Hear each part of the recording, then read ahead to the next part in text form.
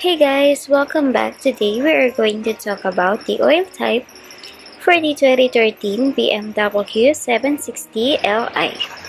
And if you are looking for what oil to buy for your 2013 BMW 760 Li, I have already looked it up.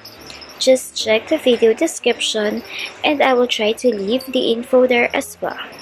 The oil type for the 2013 BMW 760 Li is 5W-30 synthetic. This oil type is only the manufacturer's recommended oil type. Keep in mind that the type of oil could change depending on the year and mileage of your car.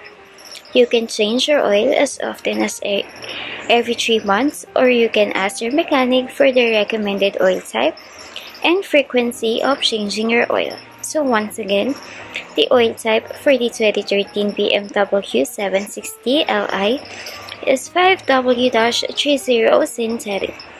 And if for 2013 BMW 760 Li uses a different type of oil, or if you know a cheaper place to buy oil for your car, Make sure to leave a comment and let the rest of us know.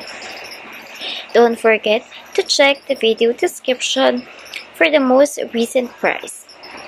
Thank you for watching this video. Please like and subscribe.